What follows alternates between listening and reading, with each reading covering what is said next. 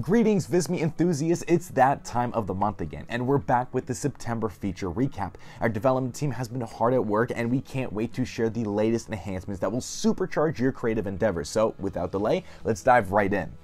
You probably already know that you can create social media graphics with Visme, but did you know that you can instantly schedule and post them to social media channels from Visme too? Say hello to Visme's Content Calendar, a built-in content scheduler, a way to create and schedule social media content all in one place without third-party tools. With Visme's Content Calendar, you can publish posts to Facebook, LinkedIn, Instagram, X, formerly Twitter, and Slack. The Content Calendar allows you to save posts as drafts for team approval, reschedule upcoming posts, and delete the ones you no longer want to share. What's more is when you access the graphic you've scheduled from the Visme editor, you can get a bird's eye view of its analytics, views, viewers, and activity, and apply time filters to drill down into specifics. Wondering how to use the Visme content calendar? First, simply log into your Visme dashboard and locate the content calendar icon on the left side menu. Next, connect to the social media channels you want to post to, select the date you want your post to be published on, and click the plus icon. Choose your Visme design project, time, and social media channel and add a description. And voila, your post is scheduled. You can always go back and edit it to change the date and time, adjust your description, resave it as a draft, or even delete it. So the next time you create a social media graphic with Visme, why not give the content calendar a try? As we move on, we've amped up our image search. Not only do we now offer you more images, but our image search also now taps into AI data models to find the most relevant results for your search queries. This improvement shines especially when you use phrases or a few keywords to search for an image. As you can see in these few examples, the results you now get with Visme are incredibly fitting.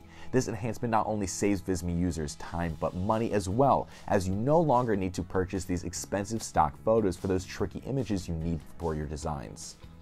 For Visme Enterprise level plan users, we've got an exclusive feature that we know you'll love. Now you can set expiration dates for your published projects, giving you more control over who gets to see your designs and when. Here's how to use the new feature.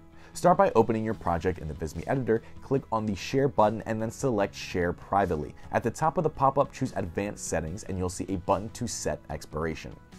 You can set an expiration date for the following day and beyond, and if someone tries to access an expired link, they'll get a heads-up notification. Stay in control with Visme Enterprise, which offers an extensive range of features tailored to meet the specific needs of large companies.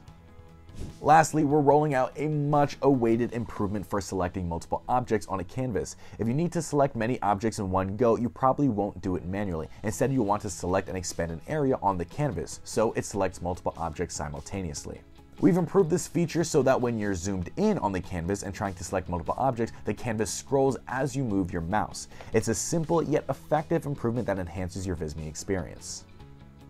And there you have it for our September feature recap. To delve deeper into these enhancements and stay in the loop on our continuous improvements, visit me visme.co slash what's new, where we keep you updated with bi-weekly feature highlights. Until next month, keep creating with Visme.